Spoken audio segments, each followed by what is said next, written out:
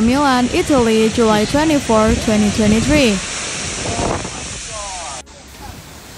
Where historical storms with full force hit the city and caused a huge impact.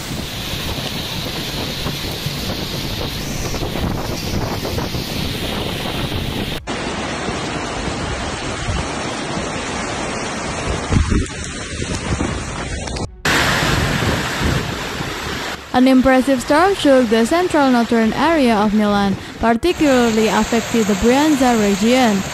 The weather phenomenon of considerable intensity hit the cities of Monza and Sesto San Giovanni with particular virulence subject to violent gusts of wind. The entire northern area and the city of Milan was not spread. Hail of considerable size hit several locations, causing many activities become paralyzed.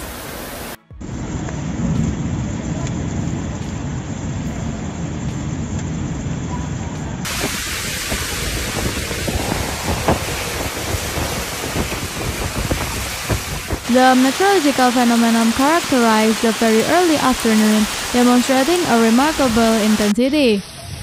The most affected cities and areas had had to deal not with only the furious wind, but also with the consequences of large-scale hail.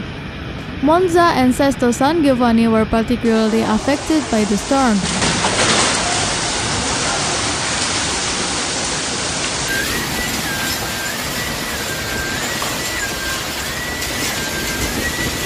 The gust of wind of unprecedented lashed the cities, causing considerable inconvenience.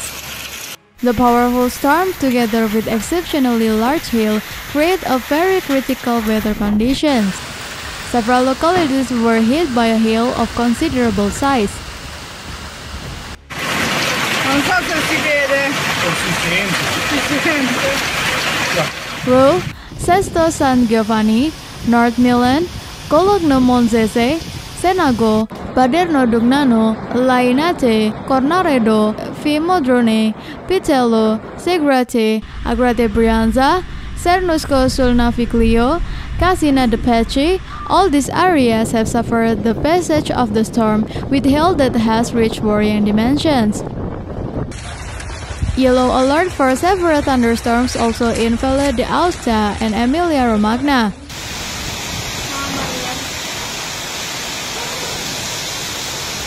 And in Ravenna, due to bad weather in recent days, there is an asbestos alarm.